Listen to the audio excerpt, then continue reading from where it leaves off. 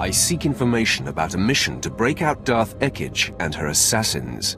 That's Lord Melikost's mission. He and his team have been permitted to venture deep within the Belsavis prison. The order came directly from Darth Baras, and you don't have clearance to know more.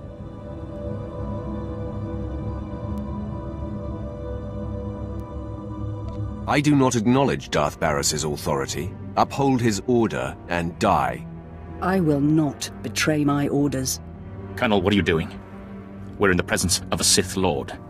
It is our duty to aid in any way. Stand down, Captain Oclart. I will not, my lord.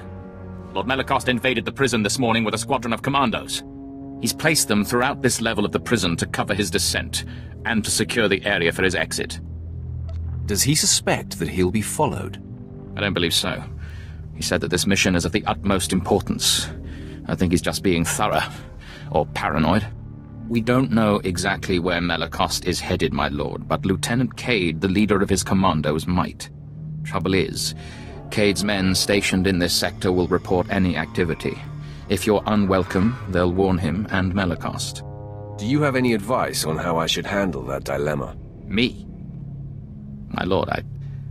I figure the Sith run this empire, so the rest of us are, well, fodder. We all know that. Captain, are you telling the Sith to go out and kill fellow soldiers? That's treason. I'm reporting you both to High Command. Darth Baras will know what has transpired here.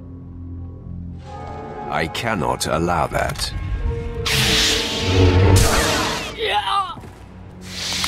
Your decisiveness is enviable.